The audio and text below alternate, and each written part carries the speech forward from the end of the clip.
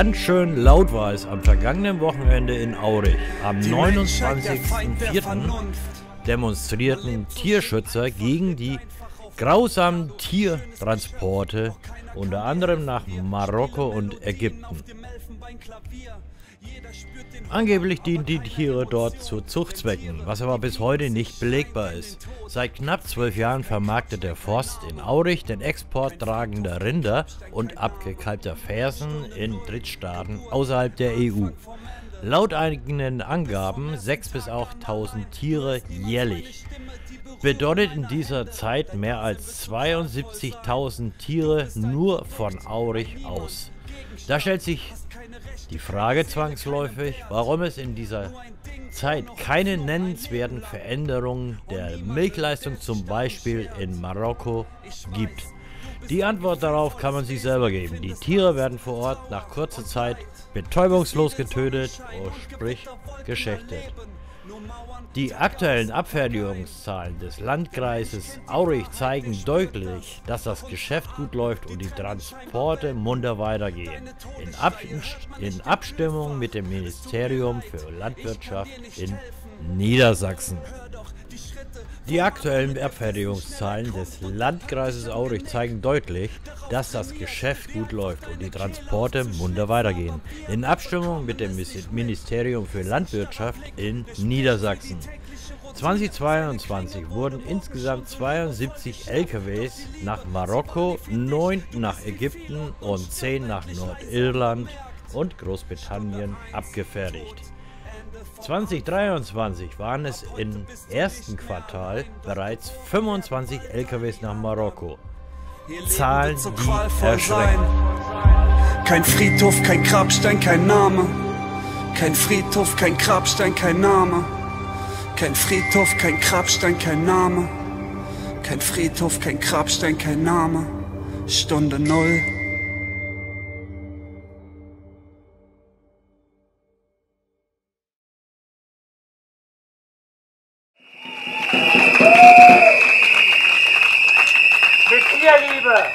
Wahrnehmung der Verantwortung als Züchter, wie es immer beschrieben wird, für seine Tiere hat das, was da passiert, nichts zu tun.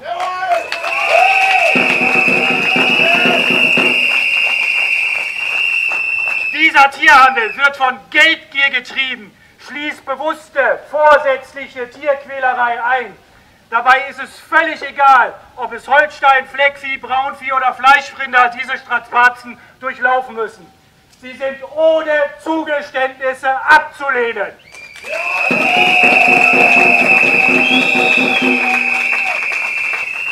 Und wer glaubt, dass durch die Milcherzeugung Nordafrika aufgebaut wird, der lügt sich selbst in die Tasche und lügt die Gesellschaft an.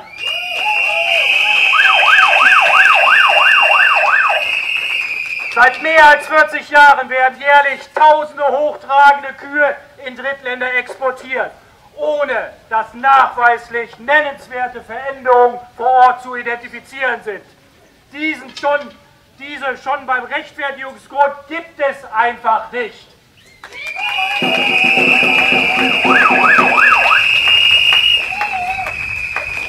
Die tierärztliche Versorgung, der Landhandel, die Milchkontrolle, die Zuchtorganisation, Berater, Forschungsanstalten, Datenerfassung und Auswertung, gibt es in diesen Ländern schlichtweg nicht.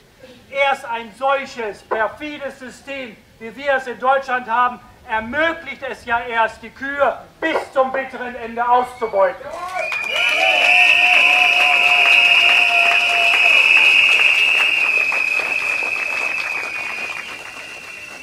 Es geht also nur darum, den einheimischen Tierschutz, Tierüberschuss bestmöglich zu vermarkten und gleichzeitig den deutschen Markt zu entlasten. Hohe Hitzeempfindlichkeit, Krankheiten, hohe Sterblichkeitsrate und geringe Fruchtbarkeit verhindern eine Nachzucht.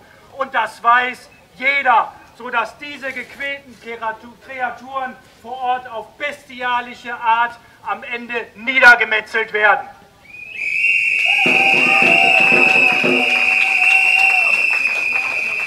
Doch das interessiert die deutschen Zuchtorganisationen einen Scheißdreck. Und Viehexpediteure können sich ein ins Fäustchen lachen, da sie das Geld, wenn die Transporte weg sind, schon bereits im Sack haben und die Folgetransporte, damit der Rubel weiterläuft, schon weiterhin organisiert haben.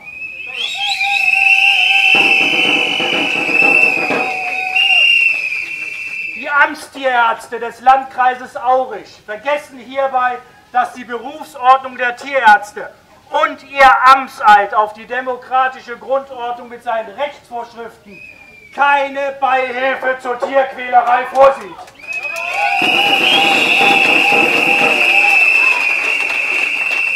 Und die Kreispolitiker, die eine Aufgabe haben, die Verwaltung zu kontrollieren, deckeln durch die Mehrheit der Befürworter dieses Vorgehen. Diese Kreistagsmitglieder sollten sich die Ecke stellen, schämen und Abbitte leisten.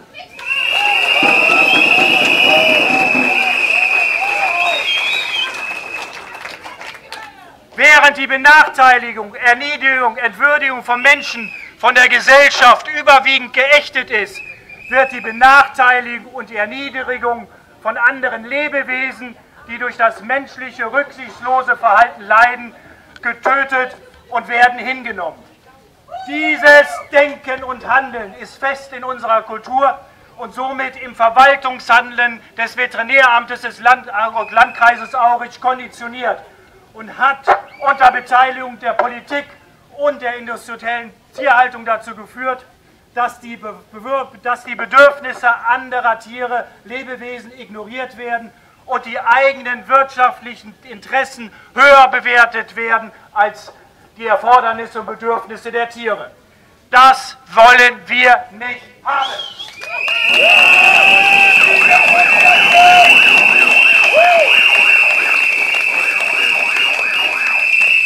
Hiermit kann man seitens der Verwaltung natürlich sein eigenes rücksichtsloses Verhalten gegenüber anderen Lebewesen, auch deren Tötung rechtfertigen, insbesondere sich selbst gegenüber rechtfertigen.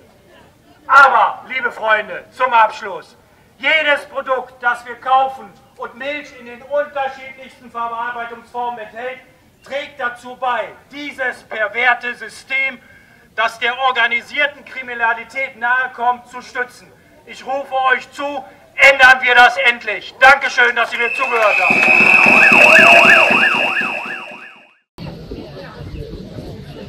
Ja, warum sind wir heute hier? Wir sind heute hier, weil wir ein Ende grausamer Tiertransporte fordern.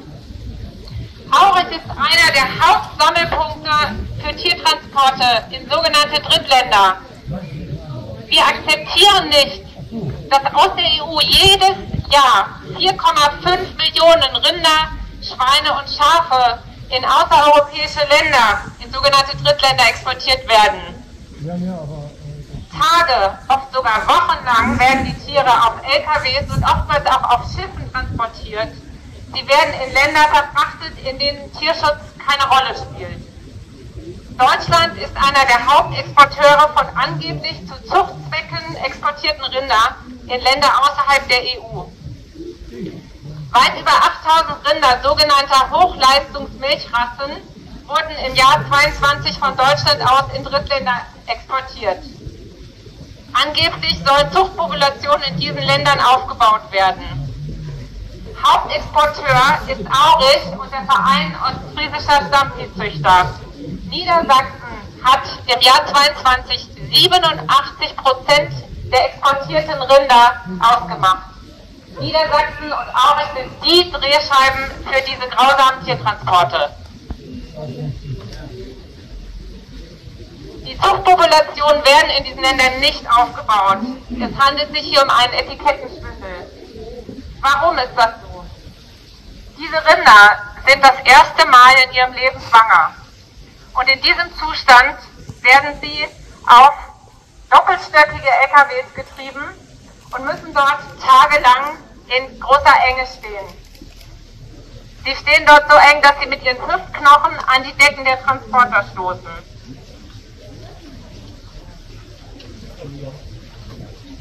Im Sommer ist es extrem stickig und heiß.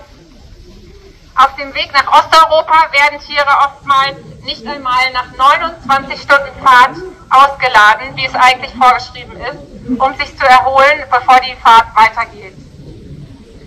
Auf dem Weg dorthin wird es im Winter bitterkalt bis zu minus 30 Grad. Es versteht sich vom selbst, dass auf den LKWs einfrieren. Wenn es nach Nordafrika geht, so wie das hier in Aurich vornehmlich der Fall ist, nach Marokko und Ägypten, dann werden die Tiere zu Häfen gebracht und auf Schiffe umgeladen. Über extrem steile Rampen geht es in den Bauch eines absolut schrottreifen Schiffswracks, das früher Autos transportiert hat. Viele Tiere rutschen auf den Rampen aus und werden dennoch auf diese Schiffe geprügelt. Auf den Schiffen selbst kann nicht ausgemistet werden. Die Tiere stehen also Tage bis Wochen lang in ihren Exkrementen. Im Drittland angekommen, werden sie auf vollkommen ungeeignete Transportpritschen getrieben. Sie finden sich in Ländern wie Ägypten, Algerien, Marokko wieder, in denen die klimatischen Verhältnisse für diese Tiere katastrophal sind. Es wird in diesen Ländern im Sommer weit über 40 Grad heiß. Unter diesen Bedingungen müssen die Tiere ihr Kalb zur Welt bringen. Sie werden danach gemolken, doch die Milchleistung lässt schnell nach. Denn in den heißen Ländern herrscht extremer Wassermangel. Eine laktierende Holstein-Friesien-Kuh, wie sie hier in Aurich gezüchtet werden und dorthin exportiert werden, benötigt an heißen Tagen bis zu 200 Liter Wasser. Diese Wassermengen sind in den Zielländern einfach nicht vorhanden. Die brutale Hitze macht den Tieren schwer zu schaffen. Versorgung mit Rauffutter ist ein riesiges Problem, denn wo wenig Wasser ist, da wächst auch kein Gras, um Rauffutter zu machen. Früher oder später werden diese Tiere und ihre Kälber auf Viehmärkten verkauft und letztlich unter vollkommen inakzeptablen Bedingungen geschlachtet. Ohne jegliche Betäubung.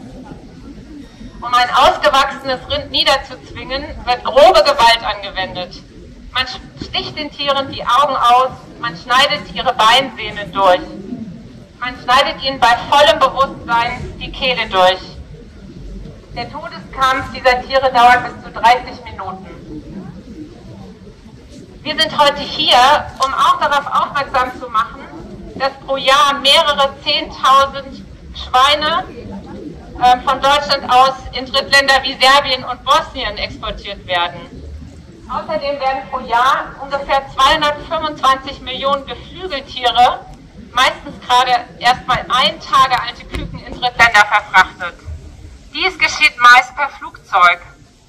Kommt es am Flughafen zu Verspätungen, sterben meist alle Tiere in den Transportlisten. Wir sind heute hier, weil diesen Tieren unendliches Leid geschieht. Tausende Tiere sterben auf diesen Transporten an Überhitzung, sie verdursten, sie ersticken. Sie liegen in ihren eigenen Exkrementen. Sie sterben äußerst qualvoll. Wir sind geschockt über die Gleichgültigkeit, mit der diese Tierquälerei seit Jahrzehnten bis heute geduldet wird.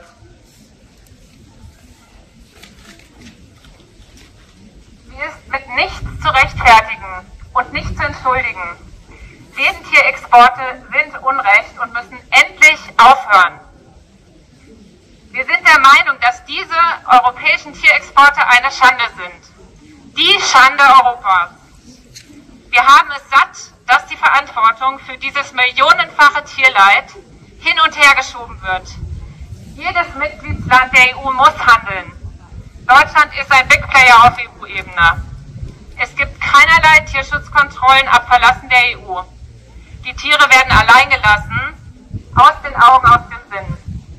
Allein das muss Grund genug sein, zu erkennen, dass jeder abgefertigte Tiertransport in Drittländer im Grunde illegal ist und sofort verboten gehört.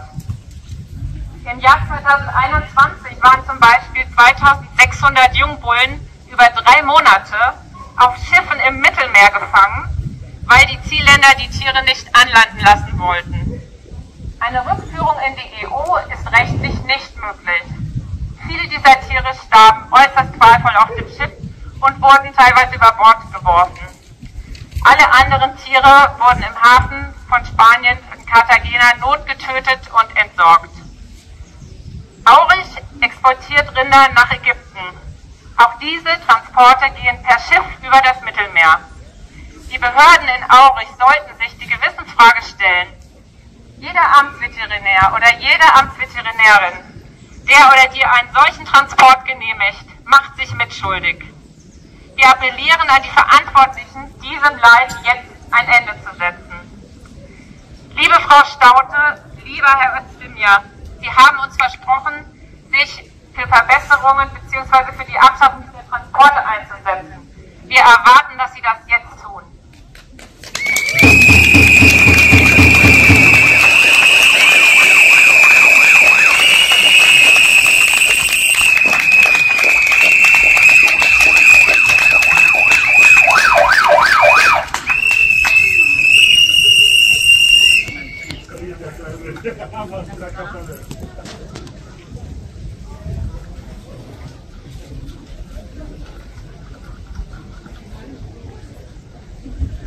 Ja, wir sind heute hier, weil wir das Leid der Tiere nicht mehr ertragen können. Das Leid, von dem wir gerade viel gehört haben und in allen grausigen Details. Seit Jahrzehnten sind diese grausamen Zustände auf den langen Drittlandexporten bekannt. Seit Jahrzehnten klären Journalistinnen wie Manfred, Manfred Karremann. Ja, genau, lauter. Kapelle machen, richtig. Seit Jahrzehnten klären Tierschutzorganisationen, Aktivistinnen und JournalistInnen wie Manfred Karremann über diese grausamen Zustände auf. Wer die Bilder einmal gesehen hat, kann sie nie wieder vergessen. Und seit Jahrzehnten ignorieren Politiker und Politikerinnen das Problem. Doch wir hoffen jetzt auf eine neue Zeit. Viele Bundesländer haben in den letzten Jahren die, durch den öffentlichen Druck die Drittlandexporte ausgesetzt. Niedersachsen ist eine traurige Ausnahme und trauriges Schlusslicht in der Reihe der Bundesländer und fertigt nach wie vor die Transporte ab, die in Hochrisikostaaten gehen, wo die Tiere ein grausames Schicksal nach einer sehr langen Reise erwartet. Aber in Niedersachsen haben wir jetzt eine grüne Landwirtschaftsministerin, Miriam Staute, und wir setzen große Hoffnungen in sie. Die Grünen haben lange Zeit an unserer Seite gestanden bei der Forderung, diese Transporte zu beenden. Und wir hoffen, dass sie jetzt das auch umsetzen und auch in Niedersachsen endlich Änderungen anstehen. Und wir haben einen grünen Landwirtschaftsminister auf Bundesebene, Cem Özdemir, der jetzt schon alle Mittel in der Hand hat, um die grausamen Drittlandexporte zu verbieten. Ja, er soll was machen, er soll jetzt die Chance nutzen und, wo er im Amt ist, die grausamen Drittlandexporte verbieten, auf nationaler Ebene für alle Bundesländer mit einer gleichen Regelung. Es gibt mehrere Rechtsgutachten, die belegen, dass ein solches nationales Verbot jetzt schon möglich und sofort umsetzbar wäre.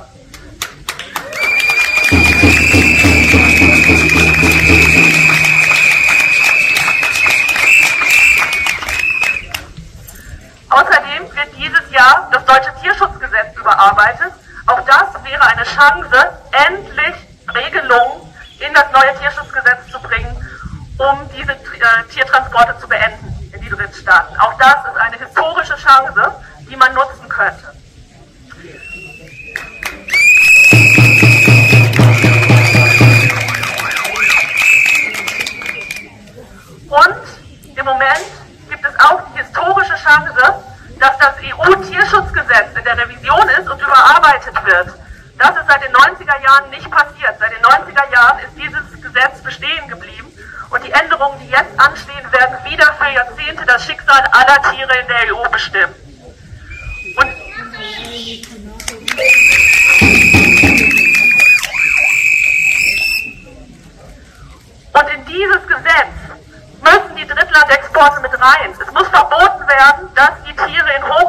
Hochrisikostaaten transportiert werden, und zwar für die gesamte EU. Aber damit wir diese Regelung auf EU-Ebene bekommen, braucht es starke Vorreiterländer. Es braucht Big Player wie Deutschland und Cem Özdemir, die vorangehen und zeigen, dass es möglich und machbar ist.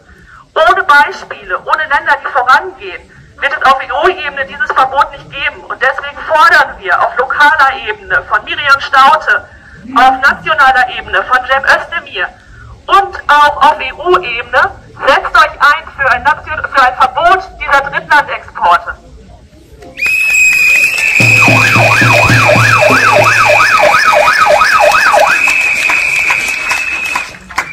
Cem Özdemir muss seine Möglichkeiten nutzen. Es gibt nichts was dagegen spricht und es gibt keine Gründe, die ihn davon abhalten können.